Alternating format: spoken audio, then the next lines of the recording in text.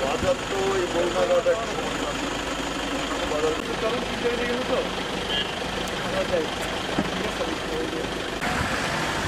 Corona virus নিয়ে কেউ কোনো প্রকার অভিযোগ না ও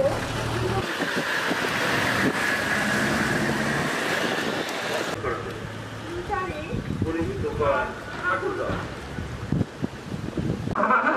হাত পরিষ্কার করুন জনসমাগম পরিহার করুন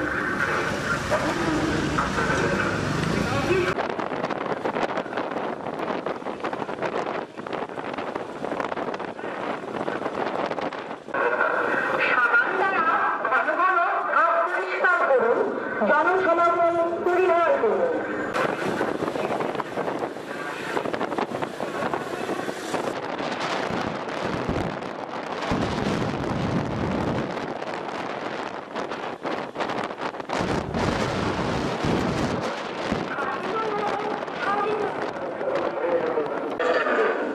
জরুরি প্রয়োজন ছাড়া কেউ বাইরে থেকে বের হবেন না সাবান দ্বারা ঘন ঘন হাত পরিষ্কার করুন জনসমাগম পরিহার করুন ঘন ঘন হাত পরিষ্কার করুন জনসমাগম পরিহার করুন মহামারী করোনার বিষয়ে সরকারি সিদ্ধান্ত বাস্তবায়নের জন্য ঠাকুরগাঁ জেলা পুলিশ বিভিন্নমুখী পদক্ষেপ গ্রহণ করেছে।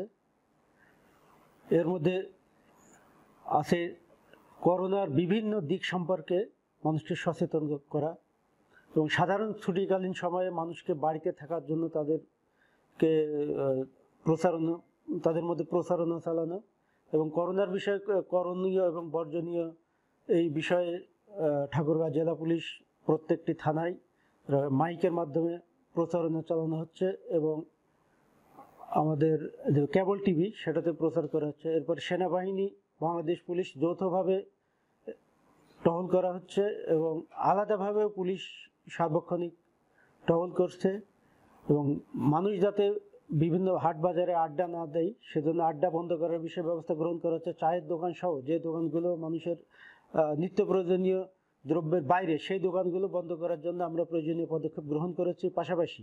আপনারা জেনে থাকবেন যে বিভিন্ন ব্যক্তি বুঝে না বুঝে এই করোনা নিয়ে বিভিন্ন ধরনের গুজব ছড়াচ্ছে। এই গুজব প্রতিরোধের জন্য আমরা ফেসবুককে আমরা প্রচারণা চালাচ্ছি। মানুষ যাতে গুজব না ছড়ায় এবং গুজবে কান না দেওয়ার জন্য ইতিমধ্যে দুজনকে গ্রেপ্তার করা হয়েছে এবং মোবাইল করে তাদেরকে শাস্তি প্রদান করা হয়েছে। এবং আমি আশা করি যে সবাই এই বিষয়ে সচেতন থাকবে। আপনি গুজবে কান দেবেন না, গুজব ছড়াবেন না, এবং কোনো খবর যদি আপনি কোথাও করোনা সম্পর্কে দেখেন, সেটা ভেরিফাই ছাড়া, যাচাই বাছাই করা ছাড়া সেটা শেয়ার না করার জন্য সবাইকে অনুরোধ করা যাচ্ছে। যারা আদেশ মানবে না, তাদেরকে আদেশ মানতে বাধ্য করার জন্য আমরা জেলা প্রশাসনের ম্যাজিস্ট্রেটদের সাথে পুলিশ কাজ করে যাচ্ছে।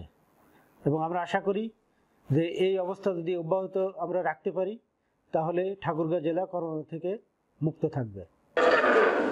জরুরি প্রয়োজন ছাড়া কেউ বাইরে না।